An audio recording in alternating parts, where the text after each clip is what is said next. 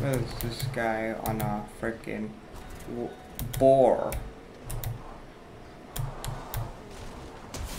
Did I hit him? Oh my god. Okay, he did hit me.